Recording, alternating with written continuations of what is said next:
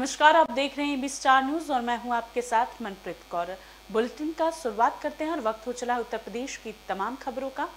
रुक करते हैं पहली खबर की ओर। झांसी में भाजपा कार्यालय पर प्रेस कॉन्फ्रेंस का आयोजन किया गया। पंचायत चुनाव को लेकर प्रदेश उपाध्यक्ष व जिला प्रभारी कमलावती सिंह ने भाजपा कार्यालय पर प्रेस कॉन्फ्रेंस की।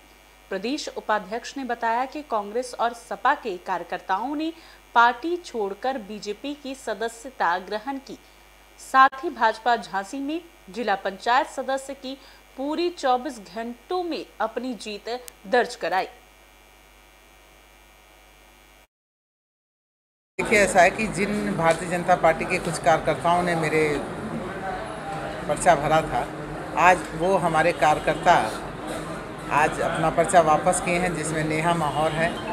उसके बाद जो है संतोष पचौरी जी हैं और बलबीर पाल जी। ये तीन लोग पर्चा वापस किए हैं। इसके अलावा हमारे आज भारतीय जनता पार्टी में परिवार के रूप में शामिल हुए ये सत्य प्रकाश तिवारी जी जो पूर्व प्रधान हैं और सिया ब्लाक पामौर के हैं, ये समाजवादी पार्टी से आए हैं। देखिए, ऐसा है कि जिन भारतीय जनता पार्टी के कुछ कार्यकर्ताओं ने मेरे नमस्कार। बता दें कि कुशीनगर से ये खबर सामने आई है, जहाँ जमीनी विवाद में दो पक्षों में मारपीट की गई है।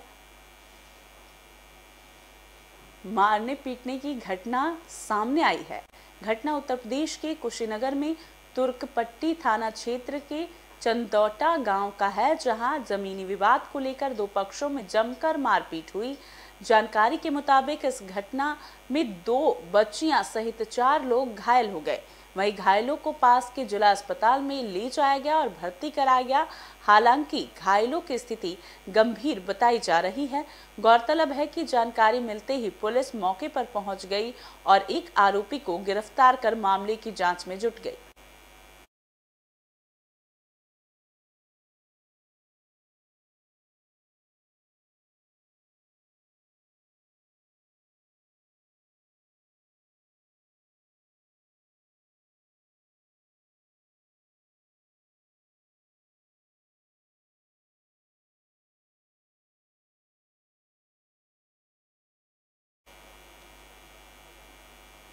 पंचायत चुनाव का आगाज़ हो चुका है और दूसरे चरण की नामांकन प्रक्रिया शुरू हो चुकी है। और इस बीच लोगों ने बढ़ चढ़कर हिस्सा लिया है नामांकन प्रक्रिया में। आज त्रिस्तरीय पंचायत चुनाव में ग्राम पंचायत और क्षेत्रीय पंचायत सदस्यों ने अपनी नामांकन प्रक्रिया में बढ़ चढ़कर हिस्सा लिया और प्रत्याशियों से उनकी राय भी जानी।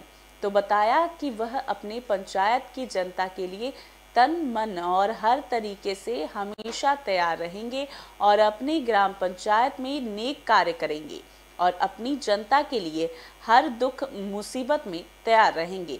अभी नामांकन की गिनती नहीं हो पा रही है। देर रात तक होगी गिनती।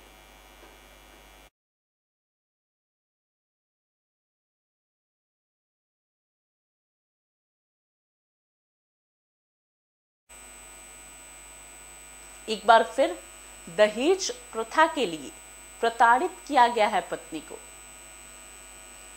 दहेज प्रताड़ना और मारपीट का मामला सामने आया है। रामपुर के भोट थाना क्षेत्र किसरोल गाँव में सामने आ रहा है, जहाँ अजमुन की शादी लॉकडाउन के समय अब्दुल कादिर से हुई थी। मृतका के परिवार वालों का कहना है कि उन लोगों ने हैसियत के मुताबिक सभी चीज़ें दी थी। बावजूद इसके, ससुराल वाले विवाहिता को मारपीट कर प्रताड़ित कर रहे थे और एक लाख रुपए लाने की डिमांड कर रहे थे।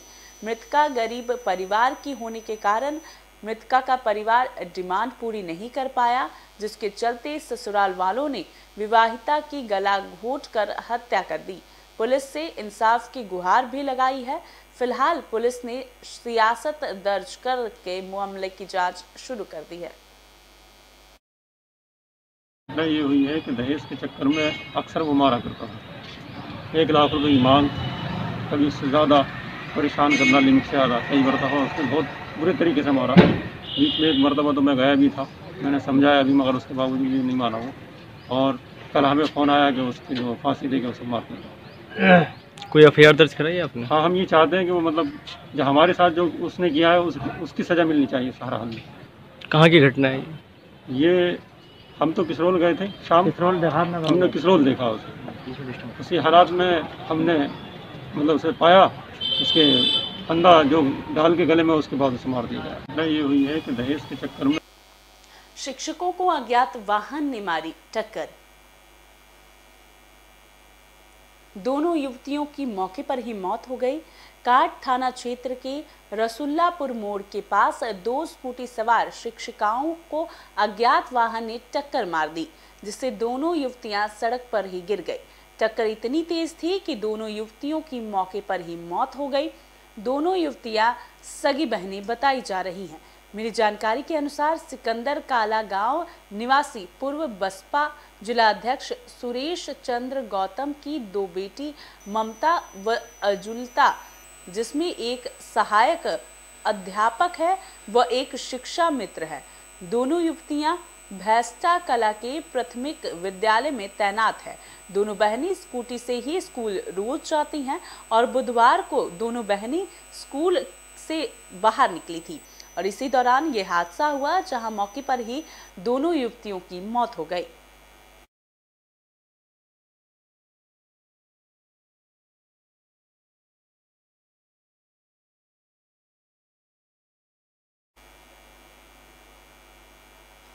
चलाए गए आपराधिक धरपकड़ अभियान।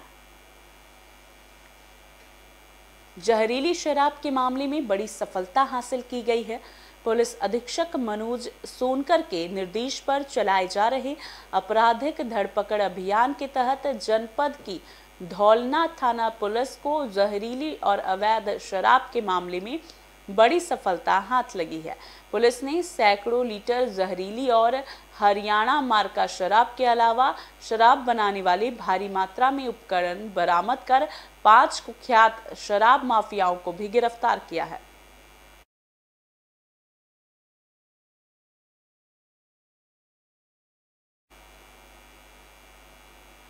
दूसरे दिन भी नामांकन प्रक्रिया में भारी भीड़ देखी गई है। एसपी ने सुरक्षा व्यवस्था का जायजा भी लिया। जनपद में त्रिस्तरीय पंचायत चुनाव के लिए नामांकन करने वालों की दौड़ में जिला पंचायत सदस्य बागपत कलेक्ट्रेट कार्यालय में दूसरे दिन आज नामांकन भरने वालों की भीड़ लगी हुई है। कलेक्टर गेट पर पुलिस कर्मी व सुरक्षा कर्मी भी गेट पर मुस्तैद से दिखाई दिए। और मुस्तैद लगे रहे। लोगों की सुरक्षा के लिए बागपत कोतवाली पुलिस बल भी मौजूद रही। वहीं जिला अधिकारी बागपत राजकमल यादव व एसपी बागपत अभिषेक सिंह ने ज़िले के अलग अलग ब्लॉक पर निर्भर कर सुरक्षा व्यवस्था का जायजा लिया। हम लोगों ने संवेदनशीलता के जो मानक है, उनके अनुसार संवेदनशील प्लस अति संवेदनशील और संवेदनशील का चिन्हीकरण किया और उन सभी बूथों पर सख्ती से इंतज़ाम किए जा रहे हैं। वहाँ पर निष्पक्ष चुनाव एकदम पारदर्शी तरीके से हो इस पर हम लोग पूरी व्यवस्था सुनिश्चित कर रहे हैं। और जैसा कि आप देखें सभी जगह शांतिपूर्ण नामांकन भी हो रहा है। किसी प्रकार की कोई कठिनाई कहीं पर भी नहीं आई।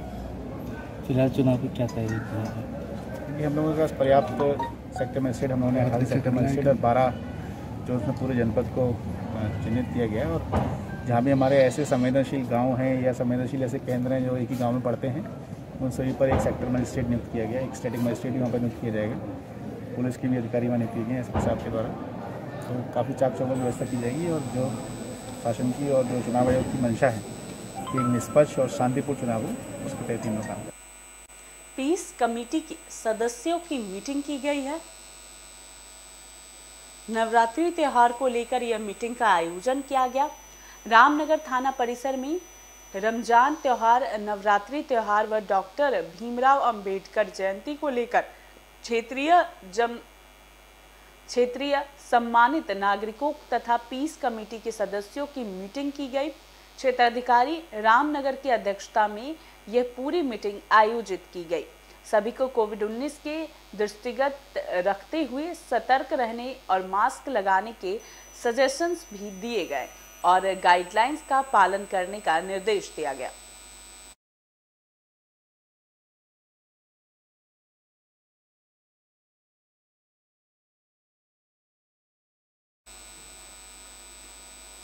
दबंगों की दबंगाई आई है सामने। दबंगों का खुलेआम आतंक देखने को मिला। इस समय मारपीट और खुलेआम दबंगाई की घटनाओं में बार बार खबरें सामने आ रही हैं और पुलिस व्यवस्था के नाम पर सिर्फ़ खाना पूर्ति से दबंगों का खुलेआम आतंक व इस कदर नज़र आ रहा है कि महिलाएँ, दुकानदार और ग्रामीण सभी अपने आप को असुरक्षित महसूस कर रहे हैं। ज़िले में पिछले 24 घंटे में चार थाना क्षेत्रों में खुलेआम दबंगों की मारपीट के लाइव वीडियो सोशल मीडिया पर वायरल हुए हैं और एक महिला जब तंग आ गई तो महिला ने उसकी सरियाम चप्पलों से पिटाई कर दी। इस तरह का वीडियो भी सामने आया है। थाना कायमगंज, जनपद फरकाबाद रोड पर खड़ा था कि रास्ते से टेंकू पुत्र पप्पू, निवासी मोहल्ला दलवीद खां, थाना शमशाबाद, जनपद फरकाबाद अपनी मोटरसाइकिल से सामान खरीदने बाज़ार जा रहा था।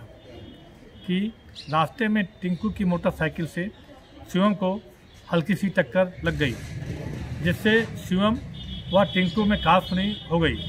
उसके बाद टिंकू अपने घर जाकर अपने घर के लोगों को बुला लाया और शिवम के साथ मारपीट की। थाना कायमगंज। अस्थाई जेल में खाकी हुई है बेलगाम।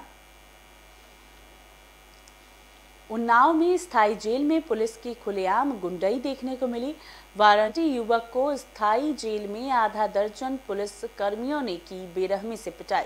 सफ़ाई करने को लेकर आधा दर्जन पुलिस कर्मियों ने युवक को पीट पीट कर अधमरा कर दिया। घायल युवक को जिला अस्पताल भेजा गया। जेल प्रशासन के हाथ पाँव फूलते नज़र आए।